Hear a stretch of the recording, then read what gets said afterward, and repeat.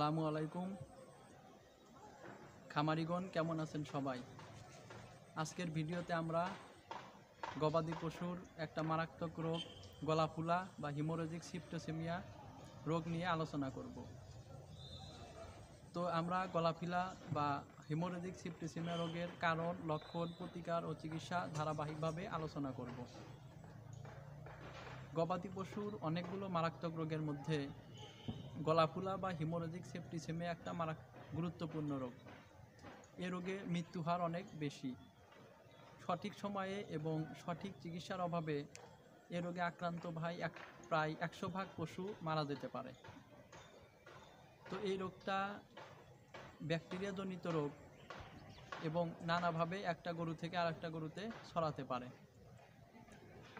তো এই রোগের জন্য দায়ী ব্যাকটেরিয়া হচ্ছে পাস্তুরেলা মালটোসিডা নামক একটা ব্যাকটেরিয়া, যেটা স্পোর ফর্মিং ব্যাকটেরিয়া এবং এটা মাটিতে থাকে।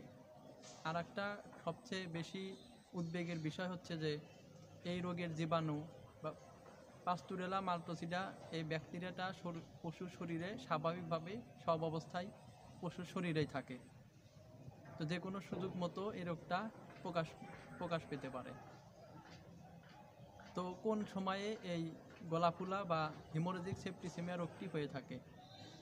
সাধারণত বর্ষাকালে বা বর্ষার শুরুতে এই রোগটা বেশি হয়, তবে সাধারণত এ রোগটা হয়ে থাকে, তবে বর্ষাকালে এ রোগটা বেশি হয়। কোন কোন প্রাণীর হয়? গরু, মহিষ এবং অন্যান্য প্রাণীর এই রোগটা হয়ে থাকে, তবে গরুর তুলনায় মহিষে প্রায় তিন গুণ বেশি এ রোগটা হয়। যেসব গরু বাড়ন্ত বয়সে সেসব গরুর এ রোগের প্রকোপ বেশি। ষোলো থেকে আঠারো মাস বয়সের গরুতে।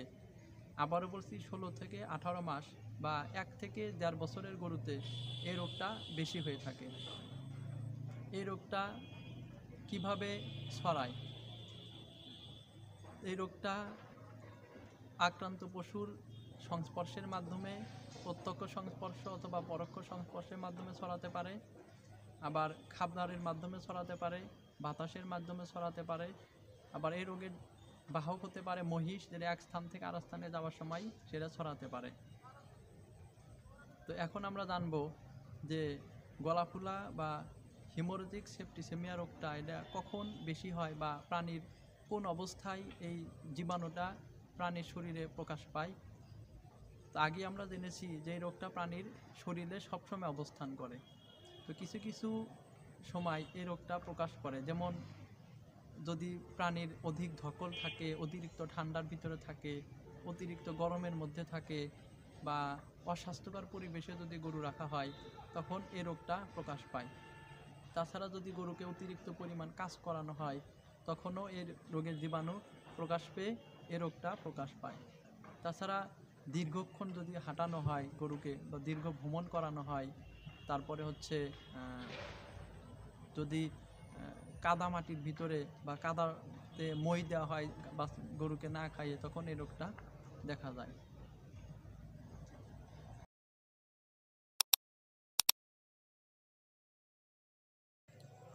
এখন আমরা গলাফুলা বা হিমোরোজিক সেপ্টিসেমিয়া রোগের লক্ষণগুলো নিয়ে আলোচনা করব।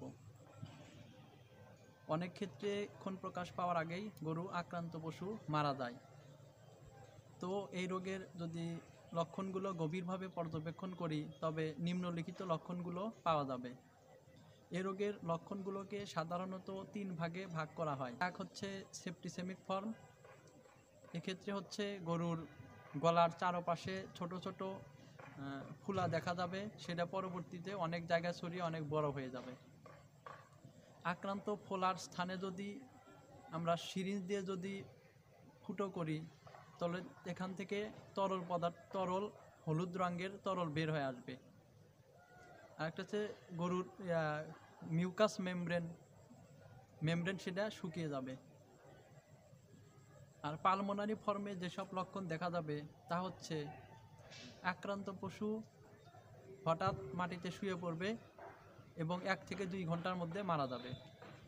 যদি তখন মারা না যায় তো এই অবস্থা অনেকক্ষণ পর্যন্ত থাকতে পারে। অনেকক্ষণ পর্যন্ত সে মাটিতে শুয়ে থাকবে।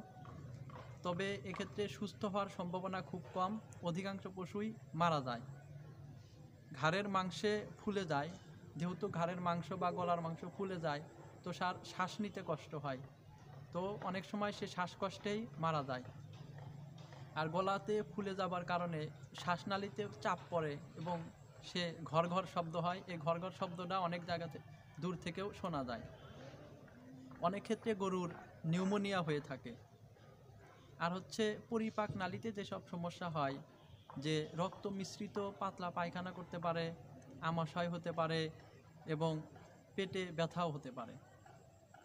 তো এইসব লক্ষণ দেখলেই বোঝা যাবে যে এই রোগ, গরু গলা ফিলা রোগের লক্ষণ প্রকাশ পাচ্ছে।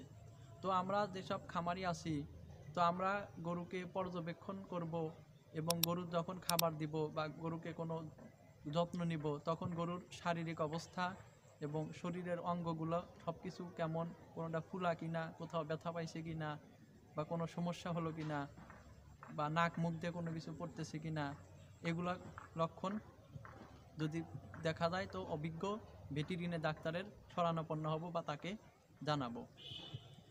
তো এখন এই গলাফুলা বা হিমোরোজিক সেপ্টিসিমিয়া রোগের প্রতিকার কি হতে পারে? এ রোগ প্রকাশ পাওয়ার পরে এখানে সুস্থ হওয়ার সম্ভাবনা খুবই কম। তো আক্রান্ত গরুকে যদি সুস্থ অবস্থায় যদি ভ্যাকসিন দেওয়া হয়, তাহলে এ রোগের হওয়ার সম্ভাবনা কমে যায়। আর এই রোগের ভ্যাকসিন হচ্ছে প্রতি বছর একবার দিতে হয়।